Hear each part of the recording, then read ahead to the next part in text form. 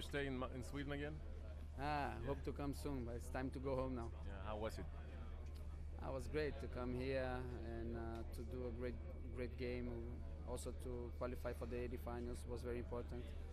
Also for Zlatan was great, so it was a fantastic, e- fantastic evening for everybody. How was Zlatan then?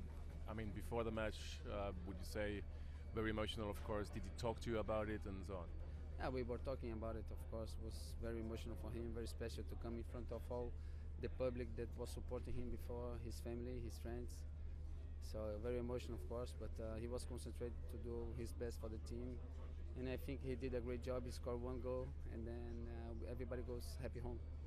Did you enjoy the atmosphere? Very much. The public did a great uh, support for me. Even if we scored some goals, they were supporting uh, Malmo. So they did a great job. They did uh, an example for the, all the fans. So we enjoyed the game, and uh, we hope that they enjoy it uh, also. Would you say, Maxwell, the differences between the teams are a little bit too much?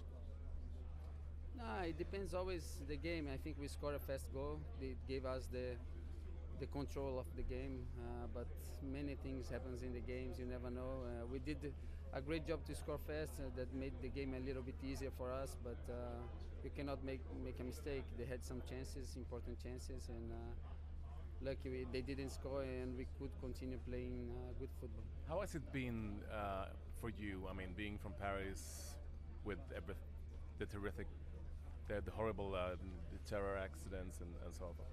It was awful to everybody. I think uh, the life changed uh, for all, all the families in Paris.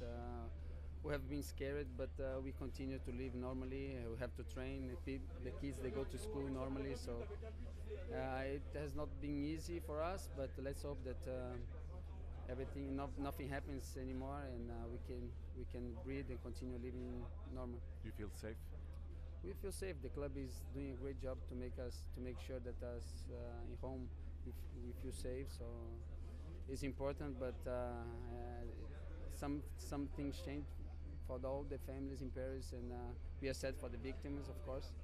But let's try to live normally and to see, to hope that nothing happens again. Obrigado. Okay, ciao, ciao.